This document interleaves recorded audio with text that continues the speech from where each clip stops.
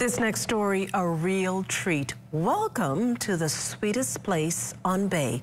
A ribbon cutting last evening for downtown's newest edition offering all things sugar. Our Lloyd Allen joins us in studio with more. Good evening, Lloyd.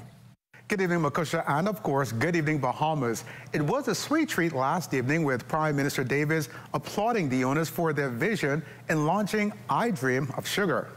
You know, the best part of my job as Prime Minister is the opportunity to meet Bahamians right where they are, in the midst of their dreams, their hard work, and their triumphs.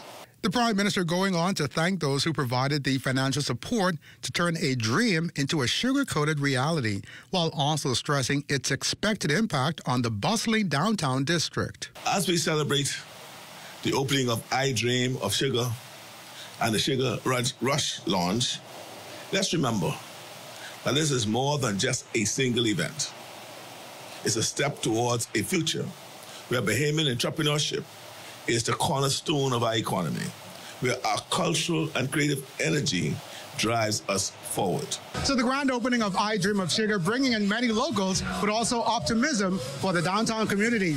We wanted to do our part to help transform downtown Nassau for the experience for our visitors and locals alike.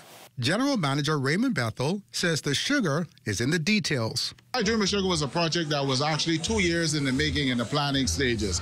Everything that you see inside of this store was strategically staged. The vision for this store was we wanted to bring a product to the downtown area where it was not the same old, same old retail environment. It was more of a destination experience. We wanted to make sure a lot of the local proprietors get a chance to showcase their products. So we partnered with several Bahamian companies, about five or six of them. So we actually showcase some of their products. The event proving to be more than just a grand opening, but a celebration of Bahamian entrepreneurship in a family-friendly environment. Reporting live in studio for the Bahamas tonight, I'm Lloyd Allen. Makushla? Do you hear that? That's Junkanoo. And that means that the Boxing Day and New Year's Day Junkanoo parades are right around the corner. Don't get left behind. Make sure book your ads in the live ZNS broadcast of the Junkanoo parades, the most professional coverage of our national art form. Call the ZNS sales office today at 502-3800. Ask for the special Junkanoo advertising package and be a part of Junkanoo on the ZNS TV network. It's getting closer and closer.